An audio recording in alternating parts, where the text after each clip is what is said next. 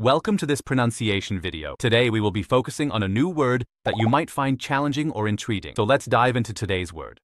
Shasa, which means Sasa in Chinese. Let's say it all together. Shasa. Shasa. Shasa. One more time. Shasa.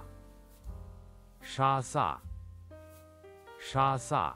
Thank you for joining us on this adventure in pronunciation. Remember, language is a journey, not a destination. Keep exploring, experimenting, and expanding your linguistic horizons. We'll see you next time.